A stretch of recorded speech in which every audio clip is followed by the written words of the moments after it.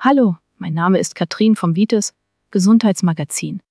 Ich möchte euch über die einzigartigen Eigenschaften der Sandelholz-Heilpflanze berichten.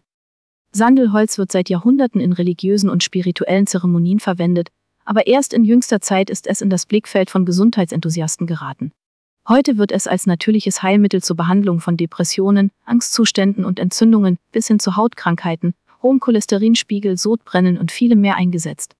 Im Folgenden werden wir die vielseitigen medizinischen Eigenschaften des Sandelholzes erforschen und zeigen, wie sie heute für ein besseres körperliches, emotionales und geistiges Wohlbefinden eingesetzt werden können.